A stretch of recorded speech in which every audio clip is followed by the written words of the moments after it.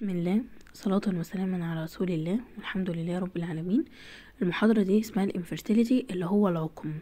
فاحنا عايزين نعرف العقم ونعرف إيه هي أسبابه والأساسيات وكده والتحاليل والعلاج كمان. uh, inability to conceive after one year of continuous material stage uh, with regular intercourse without use of contraception. عشان أقول إن في عقم أو في مشكلة في الإنجاب يبقى لازم الراجل والست يكون ما قدروش يخلفوا لمدة سنة. يعني مثلا ما تجيش واحدة بعد خمس شهور ولا أربع شهور أنا ما حملتش أنا عندي مشكلة. الكلام ده طبعا هبل وعبط. طبعا لأ. هو المفروض تقعدي على الأقل سنة. بعد السنة دي بقى تبتدي تقلقي. لأ وإيه؟ يكون يا حبيبتي السنة دي في جماع أو في علاقة بشكل مستمر. تمام؟ وكمان إن حضرتك طبعا ما بتستخدميش أي وسائل من وسائل منع الحمل. لو انت طبعا عملتي الحاجات دي يبقى هنا عندك حق تقلقي لو ما حملتيش بعد سنة. طيب inability to conceive. إحنا طبعا عدم القدرة. في حاجة اسمها sterility وفي حاجة اسمها infertility. يعني إيه؟ بصوا يا جماعة من الآخر sterility حاجة ما فيهاش رجعة. خلصت ملهاش علاج. عقم تام. لكن الانفرتيليتي هو عقم أو مشكلة بس المشكلة دي لها cause لها سبب والسبب ده ممكن curable يتحل. زي مثلا tubal adhesion التصاقات في القناة. لكن ال sterility بيبقى incurable. يعني ال sterility بتبقى يا جماعة حاجة ملهاش حل. زي مثلا إن الست شايلة الرحم أو ما عندهاش رحم. فهنا sterility عقم عقم خلاص اللي هو حاجة ما, ما مش هتتعالج خلصت كده. أنتوا فاهمين قصدي؟ يبقى ال sterility سببه سببه يا حبايبي مش هيتعالج هو السبب بتاعه incurable تمام؟ زي ال absent uterus إن الرحم مش موجود. لكن ال infertility طبعا لا. زي التصاقات والكلام ده ممكن تتعالج والدنيا تمام. ماشي؟ طيب. after one year طب ليه حضرتك بتقولي بعد سنة؟ ليه؟ اشمعنى يعني؟ قال لي ده month prepare of couple to get conception. يعني إحنا بنقول بعد سنة يا جماعة لإن هو بيبقى فيه احتمال احتمالية من إن هو يحصل إيه؟ ال conception اللي هو الاخصاب وكده. طيب after one cycle of marriage ال conception ده يا جماعة اللي هو اختلاط المشيج المذكر أو تصادم المشيج المذكر مع المشيج المؤنث. بعد دورة من الزواج يعني خدي بالك. طب ليه بقى؟ لو انت لسه متجوزة وحصل علاقة اتنين يعني الحاجات البسيطة دي قال لي احتمالية إنك تحملي خمسة وعشرين في المية يعني قليلة جدا لكن بعد سنة من الجواز احتمال إنك تحملي ما شاء الله خمسة وتسعين يعني عشان ما تلفيش على دكاترة من الأول وت... وتتعبي نفسك لو استنيتي سنة وكده عندك احتمالية إنك. يعني تحملي من خمسة وتسعين لمية في المية فاهمة قصدي؟ طيب So, in definition of primary infertility, after one year, while in secondary infertility, we add other one year of lactational ovulation اللي هو physiology. So, secondary infertility after two year. يبقى تاني وبالراحة أنا عندي نوعين من ال infertility في primary وفي secondary ال secondary دي بتبقى بعد سنتين لأن الست بتكون بترضع وإحنا فاهمين أثناء فترة الرضاعة ما بيبقاش فيه إطلاق بويضات وكده.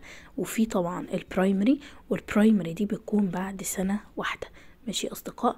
ال primary infertility never conception مفيش conception يعني إيه؟ يعني الست دي ما حملتش قبل كده. الست دي ما حملتش قبل كده. ده فين؟ في ال primary لكن ال secondary دي معناه إن هي حملت قبل كده even with abortion أو اكتب بس حصل لها إيه بقى؟ ممكن تكون أجهضت. أو حصل لها حمل خارج الرحم أو vesicular mole الحمل العنقودي. يبقى نركز بردك في الفرق ما بين ال primary وال secondary. ال primary ما حصل لهاش حمل قبل كده. Regular sexual life هو في الغالب يا جماعة من 3 ل 4 مرات في الأسبوع. التكنيك طبعا erection penetration ejaculation وكده. يعني إيه بالبلدي كده يا جماعة دخول العضو الذكري في العضو الأنثوي وبتحصل بقى الجماع وكده. والمفروض إن ال semen اللي هو السائل المنوي اللي في الحيوانات المنوية وكده يخش طبعا في ال vagina يعني. وكده ماشي. طبعا نسبة الحدوث خمستاشر في المية من الستات. وزايد قوي حدوثها هذه الأيام بسبب الأمراض اللي هي بتتنقل sexual عن طريق الجنس أو بسبب آه، زيادة سن الزواج يعني peak of female fertility عند أربعة يعني معظم الستات بقت تتجوز عند سن كبير فاهم قصدي؟ فدي برضك ممكن تؤدي للعقم. هو بيقول لي إن الست بتبقى في خصوبتها كده أو الذروة بتاعتها وهي عندها أربعة وعشرين سنة. خلاص كده؟ كلام واضح ولا؟ وكمان آه تلوث الهواء زود حدودها أو حدوثها وزيادة كمان ال diagnosis طيب حدوثها بيحصل في الرجالة بنسبة 30% حكم في الرجالة وخمسين في المية طبعا في الستات. وممكن الموضوع يكون بسبب إن العلاقة متوترة ديستربد أو الحياة يعني وكده فدي بنسبة عشرة في المية. وممكن يكون مفيش سبب أصلا ودي برضو نسبته عشرة في المية.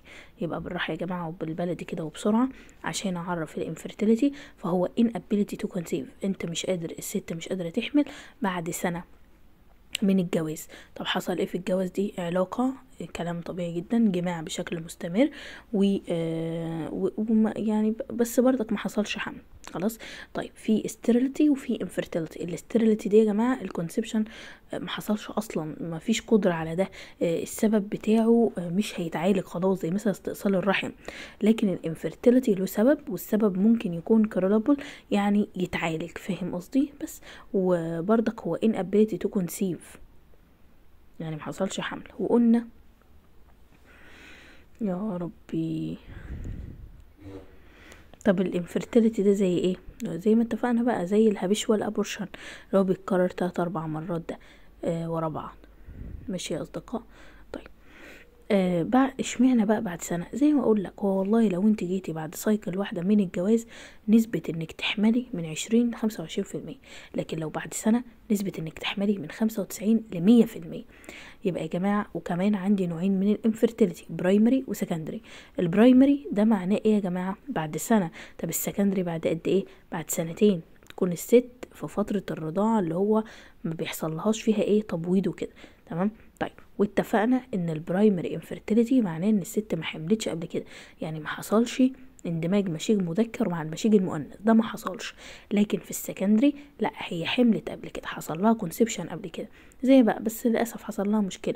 اجهاض حمل خارج الرحم حمل عنقودي فاهمين؟ فعشان كده بنقول عليها secondary infertility يعني الست حملت بس هو حصل لها مشكلة للأسف فما خلفتش زي إنها اجهضت أو إنها حمل خارج الرحم أو زي ما قلنا الحمل العنقودي.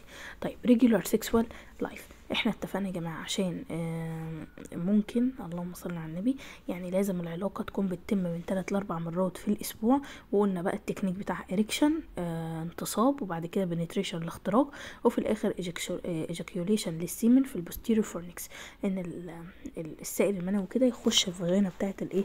الست. عندنا 15% من الستات عندهم الانفرتيليتي دي. طب ممكن تقولي لي السبب؟ ما قلنا. بسبب زيادة الأمراض اللي بتنتقل عن طريق الجنس أو إن معظم الستات بقت تتجوز عند سن كبير وهو المفروض قمة البنت في خصوبتها عند ال 24 سنة أو بسبب تلوث الهواء. وقلنا بقى الموضوع ممكن يكون بسبب الرجالة أو الستات عنصر من الطرفين. ممكن يكون بسبب اضطرابات في العلاقة أصلا ودي نسبتها عشرة في المية أو مفيش سبب أصلا وبرضه نسبتها عشرة في المية. هيبتدي يتكلم لك عن الأسباب سبب سبب وأول حاجة هيبتدي بالراجل إيه العيب اللي ممكن يكون في الراجل ممكن يسبب عقم. قال لي أول حاجة defect في ال semen production يعني الحيوانات المنوية قليلة أو في vas obstruction الوعاء مسدود أو failure لل semen deposition in seminal pool يعني ببساطة السائل المنوي ما دخلش. خلاص كده. طيب يبقى دلوقتي العيوب اللي ممكن تكون موجودة في الراجل إيه تاني؟ قلنا نقص في عدد الحيوانات المنوية تمام؟ آه نقص في إنتاجها ذات نفسه أو في آه ال- الوعاء مسدود أو فشل ال- ال semen إن هو يخش في ال seminal pool آه اللي هو في ال vagina يعني بتاع الإيه؟ فشل نخش في الست وكده. طيب آه ليه بقى نقص الحيوانات المنوية؟ يعني نقص إنتاجها. ليه الحيوانات المنوية ممكن الراجل يكون بينتج حيوانات منوية أصلا بأعداد قليلة؟ قال لي والله دي مو- موضوع ممكن يكون congenital يعني ممكن يكون هو مولود كده إن مثلا ال testis عنده مش موجودة أو مش نازلة يعني لجوه. ممكن الموضوع يكون inflammatory التهابات زي الغدة النكافية والحصبة والكلام ده. ممكن الموضوع يكون بسبب trauma. إن هو يعني اتصاب في ال testis قبل كده في الخصية قبل كده أو عمل عملية إزالة جراحية أو ممكن يكون موضوع بسبب tumor ورم خلاص أو ممكن يكون irradiation آه، ال- الولد ده أو الراجل ده تعرض لإشعاع أو ممكن يكون varicocele varicocele ال varicocele يعني طويل وواسع وملتوي تمام؟ طيب ممكن الموضوع يكون physical زي مثلا إني hot baths tight underwear يعني هو ممكن يكون مش مهتم بنفسه يعني بي بي بياخد حمام سخن كتير في المنطقة دي يعني أو بيلبس حاجات ضيقة قوي ودي بتأثر عند الرجالة. ماشي؟ فهمتوا؟ طيب أما بقى بقى المشكلة التانية إن قلنا الوعاء يكون مسدود ممكن الموضوع يكون congenital برضه هو مولود كده أو ممكن يبقى inflammation التهابات أو ممكن تكون trauma ورم آه sorry خبطة آه يعني مثلا في ليجيجن التصاقات أو كده وإحنا بنصلح ال inguinal hernia يعني كان في inguinal hernia وإحنا بنعالجها حصل vas ligation طيب ممكن زي ما قلنا tumor أو irradiation حاسة إن هو نفس الأسباب تقريبا يعني. ماشي. طيب آه آه تالت سبب عندنا إن الحيوانات المنوية زي ما اتفقنا أو السائل المنوي يفشل في إن هو يوصل لل posterior fornix طب الكلام ده بسبب العجز آه ضعف الانتصاب مثلا عند الراجل أو premature ejaculation ممكن يكون عملية خروج السائل المنوي مبكرة أو retrograde ejaculation. most of ejaculate pass to bladder and not through urethra to outside due to defect in valve system between urethra and the bladder. يعني هو بيقول معظم ال ejaculation بيمر ال bladder ومش بيروح and not through the urethra to outside. بسبب نقص في ال valve system ما بين ال urethra وال bladder hypospadias اللي هو urethra opening in ventral aspect of ال penis وفي حاجة اسمها epispadias اللي هو urethra opening on dorsal aspect of البينس نركز شوية يا جماعة يبقى إحنا دلوقتي بنتكلم في الأسباب. ببساطة جدا قبل بس أخلص أنا بتكلم في أسباب الراجل قبل ما أخش على أسباب الست. الراجل قلنا ثلاث أسباب نقص في السيمن أو في آه، انسداد أو فشل إنها تخش في آه، الحيوانات المنوية إنها تخش في الست. قلنا يا جماعة آه، نقص إنتاج الحيوانات المنوية بيبقى ممكن الموضوع يكون هو مولود كده زي إن الخصية مش موجودة أو مش نازلة يعني هي بتكبر لجوه أو زي ما اتفقنا في التهابات زي الغدة النكافية أو الحصبة أو في خبطة لا قدر الله اتخبطت أو في عملية جراحية أو مورمة أو تعرضت لإشعاع أو ال varicocele طويل وطويل وواسع وكده وملتوي. أو الموضوع ممكن يكون إن هو بيلبس لبس ضيق أو بياخد حمامات سخنة كتير. أو زيادة عن اللزوم. طيب ال bilateral بقى إن هو في انسداد الانسداد زي ما اتفقنا. انسداد ممكن يكون congenital يعني بسبب نقص ال aplasia أو hypoplasia أو both vas آه نقص نقص طبعا عدد الخلايا وكده. طيب أو مفيش خلايا أصلا. inflammatory ممكن يكون في التهابات. trauma تمام؟ trauma ده اللي هو حاجة اتخبطت وكده فعملت التصاقات يعني. وإحنا مثلا بنصلح ال inguinal hernia عملت التصاقات. tumor ورم و irradiation إشعاع. طيب آه قلنا فشل ال semen إن هو يخش المرأة ده بيبقى بسبب العجز ضعف الانتصاب أو حصل ejaculation بدري شوية أو retrograde ejaculation اللي هو إيه يا جماعة؟ إن هو ال ejaculate بيمر في ال bladder ومش في ال urethra تمام؟ بيمر في ال bladder ومش في ال urethra وبيخرج على بره وده طبعا بيعمل defect ما بين ال urethra وال bladder أو hypospadias إيه hypospadias ده؟ يعني فتحة البول بالنسبة للراجل موجودة على ال ventral aspect بتاع ال penis. طب ال epispadias اللي هي موجودة على ال dorsal تمام؟ مش هحاول اوريلكوا لها صورة. بصوا بلاش موضوع الصور وكده بس افهموا. إن هنا الراجل. فتحة البول بتاعته بتبقى موجودة على الطرف. لا هو بدل ما هي موجودة على الطرف هي هنا موجودة السفلي. الجزء اللي تحت من المهبل آه sorry القضيب بالنسبة للراجل أو آه موجودة على ال dorsal على الطرف وكده. ماشي؟ ال dorsal ده اللي هو الوضع الجانبي أو الظهري يعني ال penis أهو هي موجودة في ظهره. فاهمين الفكرة؟ طيب يبقى دلوقتي إحنا قلنا كام عامل للرجالة؟ تلاتة. خلاص وقلنا إن فشل إن هي تخش للست سواء عجز أو premature ejaculation أو retrograde أو hypospadias قلنا إن هي موجودة آه أو epispadias اللي هي موجودة dorsal ماشي يا أصدقاء؟ طيب female factor بقى اللي هو سبب الستات ودي بنسبة خمسين في المية. ممكن السبب يكون في المبيض بالنسبة للست أو قناة فالوب أو الرحم أو cervix عنق الرحم أو vagina اللي هو المهبل أو كمان حاجات عامة. ما شاء الله ده كله ماشي. أول حاجة إيه المشاكل اللي ممكن تكون موجودة في المبيض بالنسبة للست؟ تسبب إن مفيش تبويض ممكن يبقى hypothalamus نقص إفراز ال GnRH اللي بتفرزه منطقة تحت المهاد أو pituitary ovarian amenorrhea خلاص يعني انقطاع ال pituitary وال ovary خلاص انقطاع amenorrhea اللي هو انقطاع دورة الطمث وكده. cause of luteal phase defect يعني المرحلة اللي هي ال luteal اللي كان بينمو فيها البروجسترون وكده ناقصة مدتها ناقصة أو حاجة. طب إيه المشكلة اللي ممكن تكون في الأنبوبة؟ نفس الكلام عددها قليل أو مش موجود أصلا خلايا ممكن يكون فيه التهابات. وأكتر حاجة اللي هو آه ال chlamydia وال gonorrhea. وممكن يكون في trauma يعني اتخبطت في حاجة أو عمل عملية وشن حاجة أو endometriosis واخر حاجة tumor آه ورم. تمام؟ ممكن الموضوع أو المشكلة تكون في الرحم.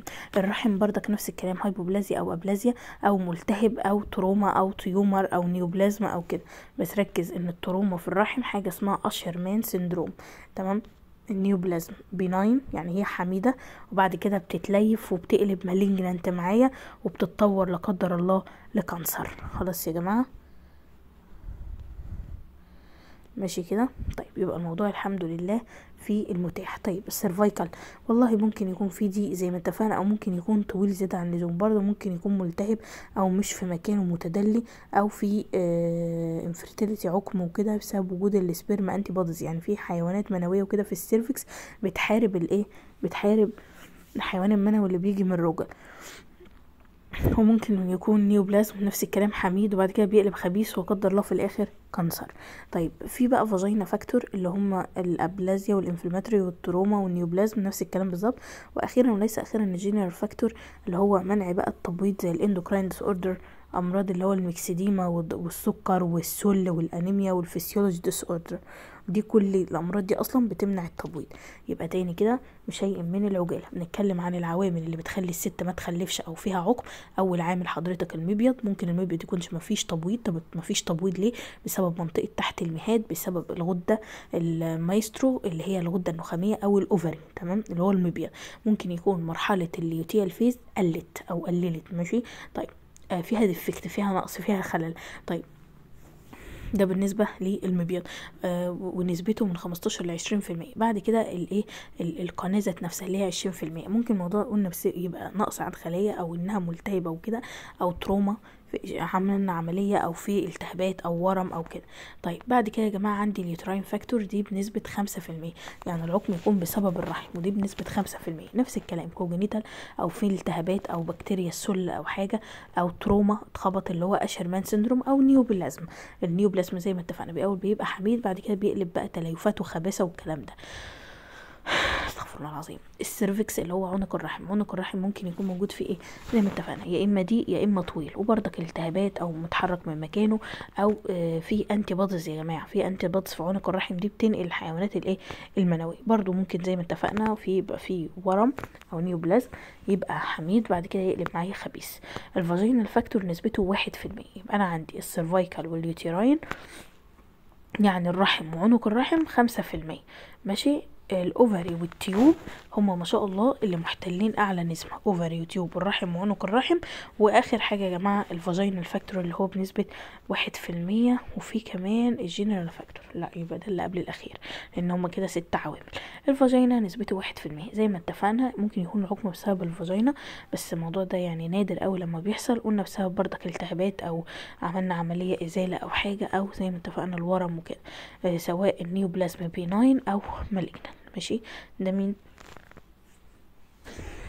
ده ال vagina factor. تمام؟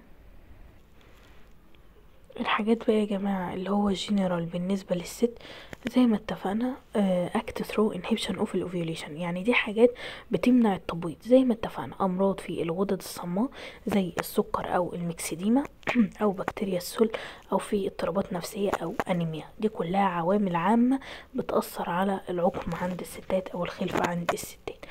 طبعا في بقى disturbed sexual life إن الحياة الجنسية مضطربة وكده وفي بقى unexplained infertility إن السبب مش معروف. تمام؟ نكمل. بسم الله. uh, disturbed sexual life. uh, طبعا uh, يعني اضطرابات في الحياة وكده الجنسية. آه، بنسبة عشرة في المية اللي هو الجماع يا إما متكرر قوي يا إما قليل قوي. أو ديسبارونيا في ألم في في وجع أثناء الجماع ف يعني بيبقى حاجة مؤلمة للست. آه فاجينازمس يعني إيه؟ يعني بيبقى في انقباضات عنيفة جدا في في ال levator ani آه في ال muscles يعني هي العضلات وكده ال adductor بتاعة الصاي بتاعة الفخذ آه ال gluteal muscle آه عضلات البطن من قدام.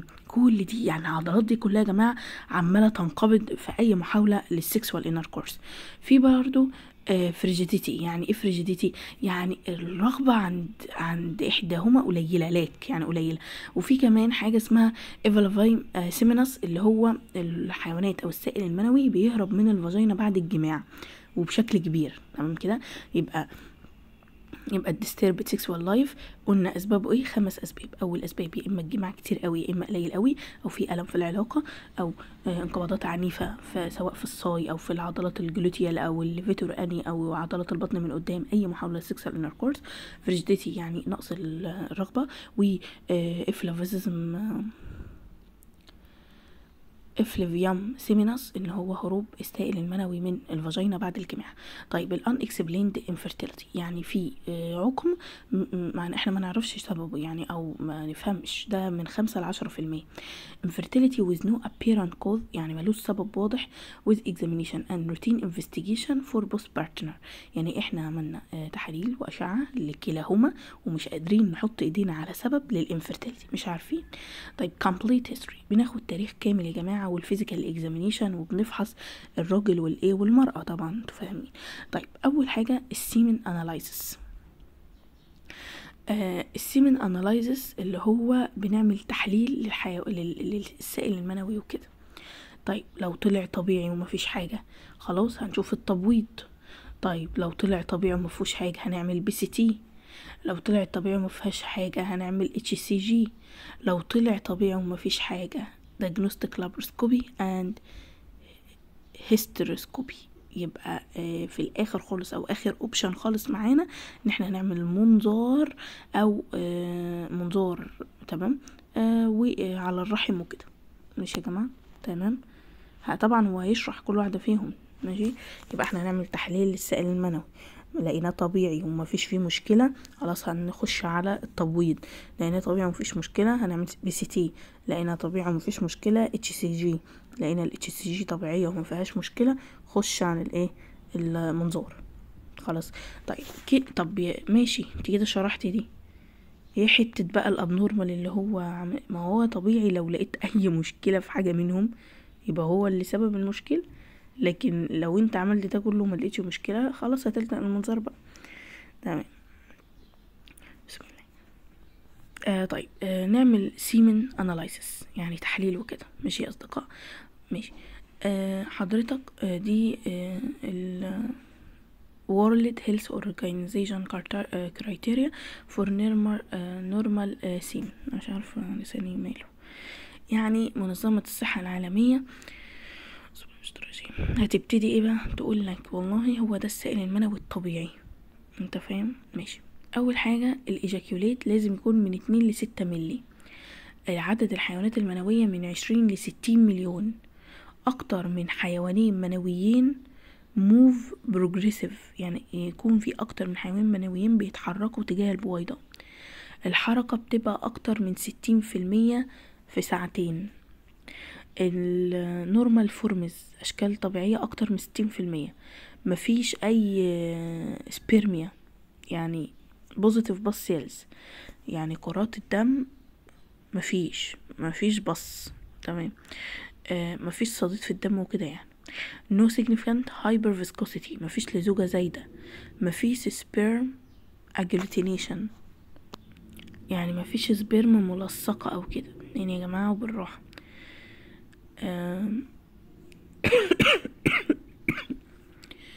عفوا.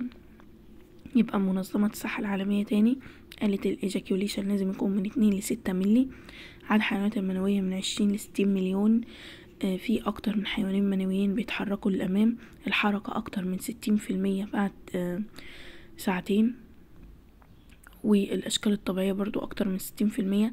مفيش أي خلايا صديد مفيش لزوجة مفيش التصاق حيوانات منوية. تمام. طب اللي مش طبيعي بقى اللي مش طبيعي طبعا اللي مش طبيعي إن يبقى فيه aspermia أو hyposperm أو hyper sperm هو ممكن يكون مفيش أصلا مفيش semen أساسا. تمام. وممكن يكون قليل أقل من اتنين ملي وممكن يكون كتير أكتر من ستة ملي هو range ه من اتنين لستة أقل من اتنين يبقى hypo أكبر آه، من ستة يبقى hyper طب مفيش أصلا يبقى aspermia نخش بقى على ال azoospermia وال oligo وال poly ده في العدد. oligo و poly وده في poly طبعا ده في العدد. يعني مثلا لو هو أكتر من عشرين آه sorry أقل من عشرين يبقى ده oligo. عدد الحيوانات المنوية قليل. طب لو هو أكتر من ستين يبقى ده poly. آه ستين إيه؟ أكتر من ميتين مليون يبقى ده poly. طب azo azo مفيش أصلا. azo مفيش أصلا.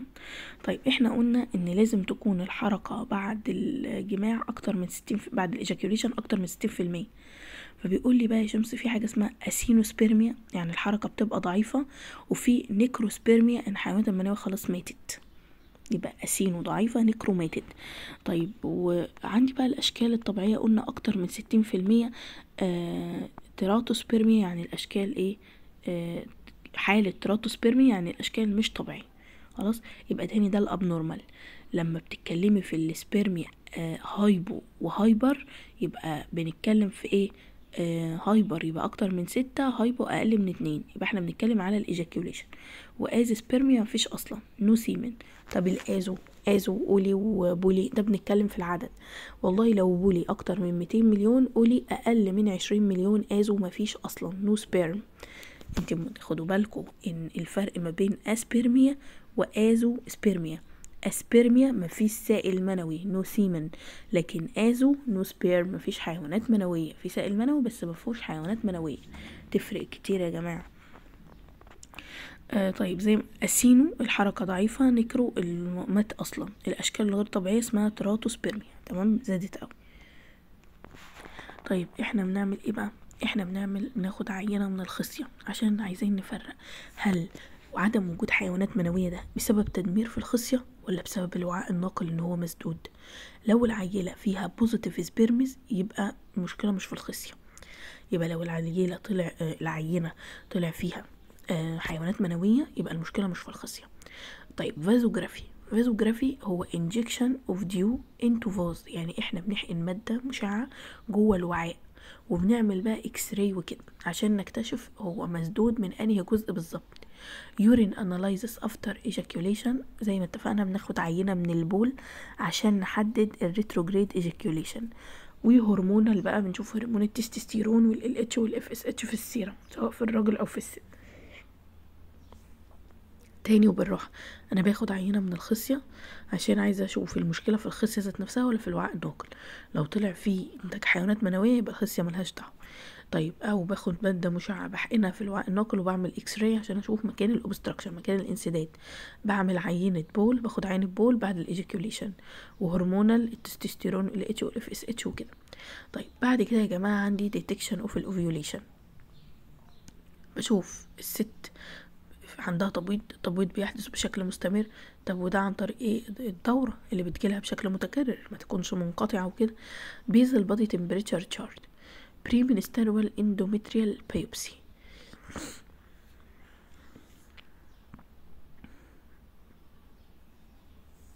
يعني المفروض إن إحنا بناخد عينة من الرحم قبل الإيه؟ قبل الحيض وكده. اللي هو على اليوم الاتنين وعشرين. Some authors قال 3 days before next cycle. يعني في بعض المؤرخين قالوا 3 أيام قبل الدورة التانية. ناخد عينة من الاندومتريا وفي الناس قالت لا ما 3 أيام إيه؟ قبل يوم من الدورة التانية. أنتوا فاهمين؟ ماشي. يبقى يا جماعة المهم إحنا دلوقتي شفنا الهرمون الاساي بعد كده دخلنا على التبويض.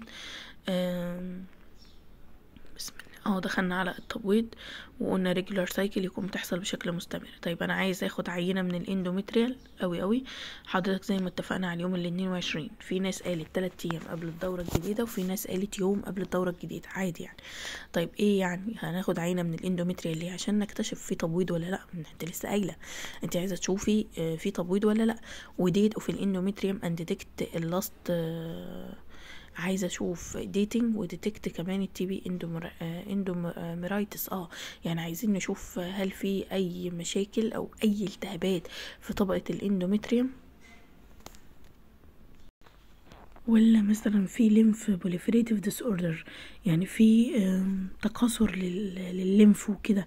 المشكلة فين بالظبط؟ يبقى أنا عشان احدد التبويض أشوف في تكاثر في ال lymph ولا لأ وأشوف لو في أي التهابات. طيب ultrasound serial folliculometry around the time of ovulation. ال ultrasound دي بنعملها في أيام 11 و13 و15 من ال cycle. ركزوا يا جماعة عشان تفهموا الفرق. تفهموا لما جيت أخد عينة من ال endometrial قلنا في اليوم ال 22 قبل الدورة بتلات أيام أو قبلها بيوم.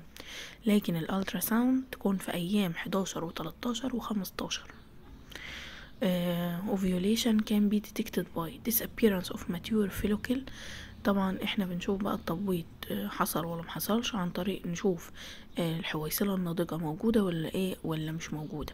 طبعا لو الحويصلة الناضجة اختفت ده معناه إن تم تحرير البويضة. يعني خلاص الحويصلة rupture ت وفرقعت والبويضة اتحررت يبقى التبويض حصل. free fluid in Douglas pouch لو في fluid في ال Douglas pouch يبقى بردك اتحررت. لو في corpus luteum اللي هو الجسم الأصفر يبقى التبويض حصل. خلاص يا جماعة يبقى إحنا عرفنا التبويض آه، هنا هيحصل لو لقيت الحويصلة مش موجودة أو آه، الجسم الأصفر موجود لأن هي طبعا بعد ما الحويصلة بتختفي بيحل بتتحول لجسم أصفر يعني. أو زي ما قلنا في fluid في ال Douglas pouch ال hormonal بقى. بناخد ال اتش وال اتش بيبقى في قمته عند المية تمام؟ آه sorry في ال mid cycle بيبقى أعلى من مية آه بنشوف البروجسترون عند اليوم ال 22 آه والمفروض طب اشمعنى؟ لأن طبعا عند اليوم ال 22 ده بتبقى البطانة الرحم في ذروتها أو بيبقى الرحم مجهز نفسه لاستقبال baby. ولو ما حصلش تخصيب للبويضة طبعا بيحصل طمث. فبيكون نسبة البروجسترون هنا أعلى حاجة يعني عالية قوي بتبقى أكتر من أو بتساوي العشرة. طيب البروجسترون بيبقى لو هو بقى من اتنين لعشرة يعني هو في range من اتنين لعشرة يبقى في آه، زي ما اتفقنا اللي هو proliferative إيه disorder وكده. آه، في مشاكل lymph يعني في في اضطرابات في ال lymph خلاص يبقى إحنا اتفقنا دلوقتي ال LH بيكون في قمته آه، أكتر من مية في ال mid cycle. وعندي كمان البروجسترون يا شمس البروجسترون بيبقى أكتر من أو بيساوي عشرة نانو جرام في آه، اليوم ال 22 طيب قلنا انه هو لو من اتنين لعشرة يبقى هو في ال lymphoproliferative إيه disorder طب endoscopy بقى منظار. المنظار يبقى إحنا عايزين نشوف الايه عملية التبويض وكده. on surface of ovary اللي هو ال small trauma يبقى أنا بعمل منظار ليه؟ عشان أشوف process of ovulation which manifested by stigmata on surface of ovary. يعني بنشوف هل ال- المبيض مثلا اتخبط عليه trauma في حاجة. تمام؟ يبقى أنا بعمل منظار عشان أشوف هل المبيض مخبوط أو في في حاجة يعني في مشكلة عامل عمليه surgical في الجزء ده. طيب detection of tubal patency by hysterosalpingography يعني إحنا عايزين نشوف آه، قناة فالوب فيها مشكلة ولا لأ مسدودة ولا لأ. فبنعمل بقى إيه؟ hysterosalpingography طب دي تتعمل طبعا ال hysterosalpingography تالي هنحقن مادة مشعة برضو نعمل لها X-ray أو حاجة يعني حاجة شوية كده. طيب نعالجها إزاي بقى؟ نعالج السبب طبعا وفي الحالات الطويلة ممكن آه نعمل reproductive technology طب إيه بقى ال reproductive technology artificial insemination. يعني إحنا ممكن آه بشكل صناعي حيوانات منوية للراجل وكده يعني. وممكن نعمل in vitro fertilization and embryo transfer. يعني إحنا نعمل تخصيب وكده و ونزرع اللي هو يعني بتاخد عينة من الراجل وعينة من المرأة. وتوفر لهم الجو بره بعد كده بتتزرع في المرأة وكده. وممكن intracytoplasmic sperm injection وممكن نحقن حيوانات منوية. خلاص؟ طيب يبقى تاني عشان نعالج المشكلة دي بنعمل إيه؟ بنعالج السبب يا أصدقاء. تمام؟ آه آه طيب في بقى تكنولوجيا كده متقدمة لو الموضوع هيطول قوي يعني وبتاع في حاجات بقى بتتعمل صناعية وكده. زي ما قلنا artificial insemination ده آه للزوج. تمام؟ يعني بنعمل بنعملها بشكل صناعي اللي هو السائل المنوي ده وكده و vitro fertilization اللي هو اللي هو أطفال الأنابيب وكده. فبياخدوا عينة من الراجل وعينة من المرأة ويعملوا fertilization بره وبعد كده يزرعوا الجنين في الأم وأخيرا وليس أخيرا intra cytoplasmic sperm injection يعني آه بنحقن حيوانات منوية وكده. ماشي؟ طيب. ولله الحمد كده المحاضرة خلصت. اللهم إني أستودعك ما فهمت وما قرأت وما حفظت وما سمعت فاردوا إلينا عند حاجة إلي يا رب يا كريم ادعوا لي بصالح الحال ولكم مراد القلب والقدر لا تدعوا لأهلنا في غزة. سلام.